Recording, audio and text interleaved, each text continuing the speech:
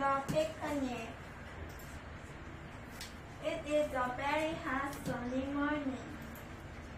Dad said we can go on a picnic.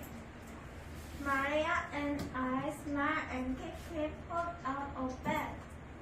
First, we have to feed the animals. We feed the chickens and the pigs.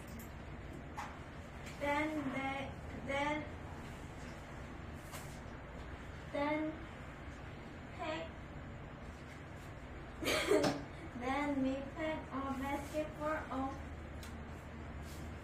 food and things. We are Tampona lives. Maya and I